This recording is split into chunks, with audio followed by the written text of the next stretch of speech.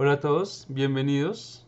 Hoy hablaremos del estudio de las máquinas térmicas. Hace parte del área de la física llamada termodinámica y es un estudio que se remonta hacia los inicios de esta disciplina. Por una máquina térmica entendemos cualquier dispositivo, cualquier máquina que funciona entre dos focos de temperatura que llamamos un foco caliente y un foco frío. Y pues de esta máquina se extrae trabajo mecánico, es decir, el movimiento estas máquinas térmicas o el estudio de las máquinas térmicas implicó de cierta manera de que aparecieran las leyes de la termodinámica. Porque por muchos años se intentó, por ejemplo, crear una máquina perpetua o crear una máquina térmica que convirtiera toda la energía en forma de calor en trabajo se intentó y pues básicamente lo que se aprendió de todos esos intentos es lo que hoy se conoce como las dos primeras leyes de la termodinámica. Justamente la primera ley de la termodinámica nos dice que el cambio de energía interna delta U es igual al calor menos el trabajo. Claro, eh, nosotros tenemos en general que las máquinas térmicas trabajan en ciclos termodinámicos, un ciclo cerrado. Y pues en un ciclo cerrado, en donde el estado inicial es exactamente el estado final, pues el cambio de energía interna, ¿cuánto es? Pues cero, porque regresa al mismo estado.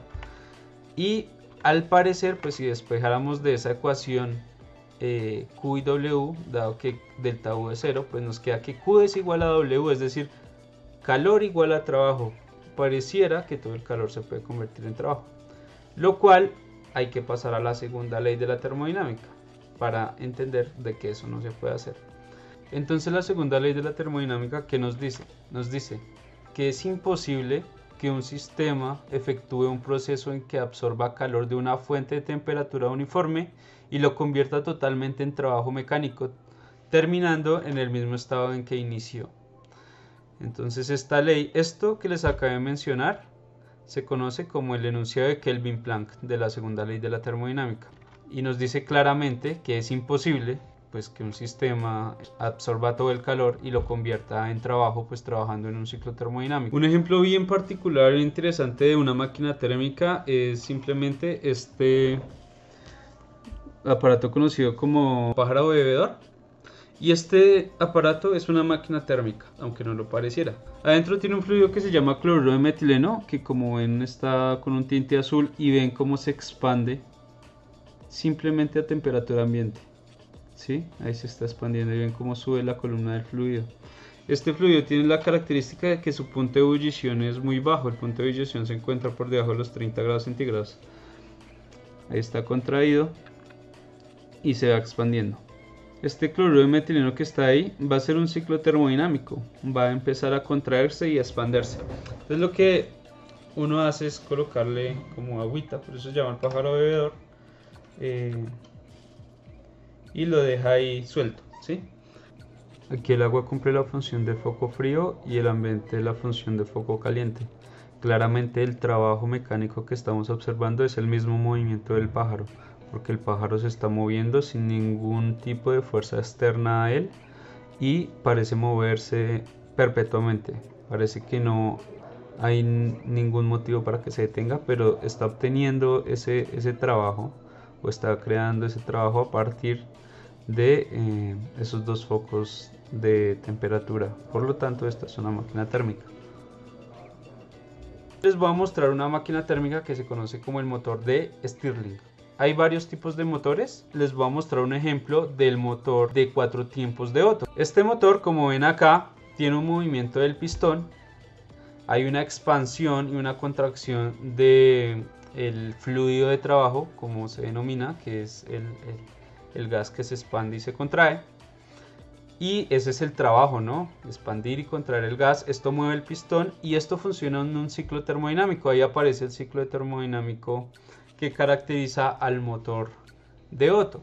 Este ciclo de Otto se caracteriza porque tiene dos procesos adiabáticos y dos procesos isocóricos. Recordemos que un proceso adiabático es un proceso en donde no hay transferencia de calor y un proceso isocórico pues es un proceso en que no hay cambio de volumen. Este ciclo PV o que está dibujado en en un diagrama de presión contra volumen que se conoce como un diagrama de Capeiron. Justamente en este ciclo PV lo que nos interesa es ver cómo se hace el ciclo termodinámico. En este caso el ciclo termodinámico se va, dibujando, como se dan cuenta, hay curvas adiabatas y curvas eh, isocóricas, ¿sí? en donde no hay cambio de volumen. Este es el ciclo y esto es cómo funcionaría un motor de Otto. Ahora, ¿cómo funciona el motor de Stirling que es el que les voy a mostrar? Se caracteriza pues porque hay una curva que es isotérmica, o sea, es similar al ciclo de Otto, pero en vez de esas curvas adiabáticas tenemos unas curvas isotérmicas. Como su nombre lo dice, pues la curva isotérmica implica que la temperatura es constante. Entonces partimos desde el estado inicial 1 hasta el estado 2 isotérmicamente, es decir, no cambia la temperatura del gas y cabe resaltar que el gas que usamos en el motor de, de Stirling es aire. El gas que vamos a expander y contraer es simplemente aire. Del, punto 1 al punto 2 vemos que hay una expansión isotérmica. Pues ¿por qué? Porque aumenta su volumen, se está expandiendo el gas, pero la temperatura se mantiene constante. Del punto 2 al punto 3 hay un proceso que es isocórico, es decir, el volumen 2 hasta donde llega el gas no cambia. Y luego desde el punto 3 al punto 4 hay una contracción isotérmica, de nuevo el gas eh, retorna a su volumen inicial, pero la temperatura es constante. Y del estado 4 al estado 1 nuevamente, para cerrar el ciclo, tenemos otro proceso isocórico. Entonces este es el ciclo de Stirling.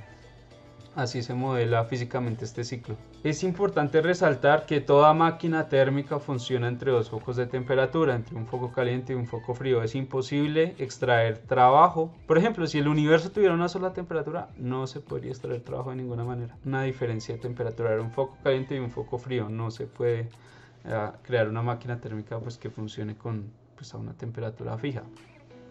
Y este es el ciclo que caracteriza al, al motor de Stirling. Bueno, este que viene acá es el motor de Stirling pues, que tengo en el laboratorio. Es un motor como ven bastante casero y consta de una, como ven acá, un recipiente que eh, emula un, un, pistón y adentro pues efectivamente tiene un pistón en madera. Pues que está dentro, imagínense que sea esto que sea la madera, el pistón que está dentro de la lata, pues em, claramente ahí hay gas, que como les dije es simplemente aire el pistón cuando el gas está contraído pues está a cierta altura y cuando se expande sube, ¿sí? Y cuando el gas se contrae baja y cuando expande sube. Entonces ese es el trabajo, ¿sí? El trabajo mecánico. ¿Que cómo se expande y cómo se contrae el gas? Pues justamente obedeciendo el ciclo de Stirling. El ciclo de Stirling ya vimos cómo se expandía el gas isotérmicamente y se contraía isotérmicamente también y habían dos procesos isocóricos donde el volumen no cambiaba. Cuando el pistón suba y baje, todo este movimiento de subir y bajar pues se va a ver evidenciado debido a estos piñones que hay acá se va a ver evidenciado en este movimiento circular. Este movimiento de, de acá nos da cuenta que efectivamente la máquina térmica está trabajando. Entonces aquí, ¿qué es lo complejo? Pues aquí lo complejo o lo que hace la máquina térmica es convertir esta fuente de calor, que en este caso va a ser fuego. Aquí hay energía, energía en forma de calor. ¿Qué nos dice la primera ley de la termodinámica? Que yo puedo convertir esa energía en forma de calor en trabajo. Claramente necesitamos, como les decía, dos focos de temperatura. Este es el foco caliente y el foco de temperatura fría será simplemente el ambiente. ¿sí? El ambiente nos sirve de foco de temperatura frío. Pues si yo quiero hacer más eficiente el trabajo, pues si coloco algo más frío, digamos aquí un hielo, yo qué sé, pues eh, será inclusive mejor.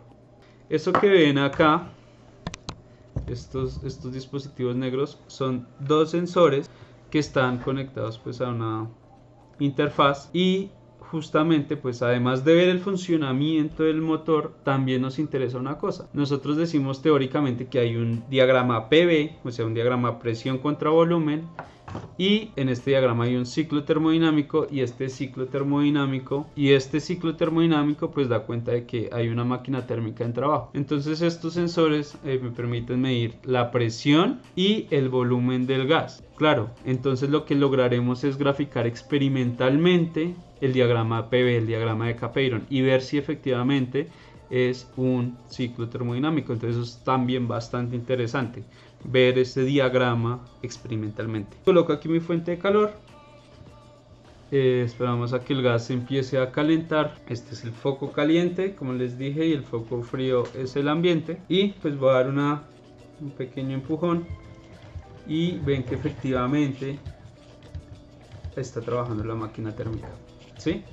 Este, como les mencioné, es un motor de Stirling. El aire es el que se está expandiendo y contrayendo en ese ciclo termodinámico. Entonces vemos que la máquina térmica efectivamente está convirtiendo esta energía en forma de calor en trabajo mecánico. Esto es una máquina térmica. Bueno, y ahora veamos los datos experimentales. Entonces voy a colocar acá a medir. Y ahí ven cómo se dibuja la gráfica PB en vivo. ¿Sí? Y entonces eh, este, este diagrama que ven acá claramente es un diagrama de presión contra volumen. Eh, muestra claramente de que hay un ciclo termodinámico. Nótese que siempre se cierra y regresa a su punto inicial.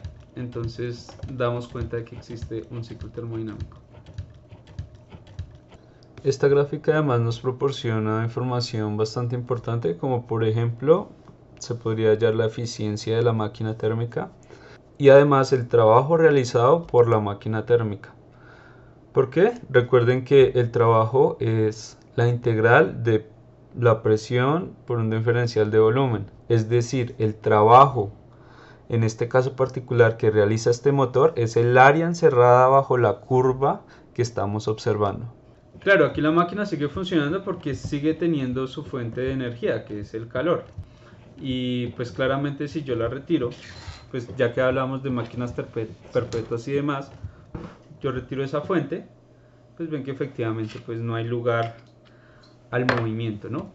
Que no hay una máquina que funcione perpetuamente y ni siquiera hay una máquina que pueda convertir toda esta energía en forma de calor en trabajo mecánico. No es una cuestión de ingeniería, no es una cuestión de ingenio de crear la máquina, sino que las mismas leyes de la naturaleza lo prohíben. Entonces, esta es una máquina térmica, este es el motor de Stirling. Nos sirvió también para hablar un poco de la primera y segunda ley de la termodinámica. Este también es un motor de Stirling y tiene el mismo funcionamiento que hemos descrito anteriormente. Voy a colocar aquí la fuente de calor.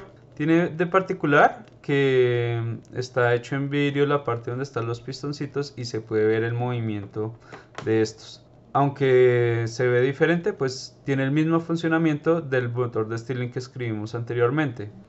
Bueno, darle una pequeña iniciación y ahí ven el funcionamiento del motor.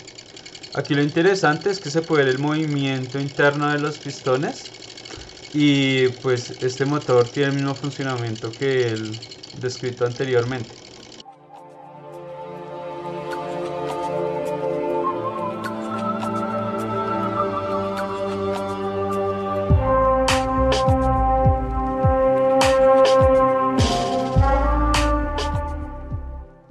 Con este motor de Stirling terminamos el video de hoy. Hasta la próxima y que tengan buenos tiempos. Chao.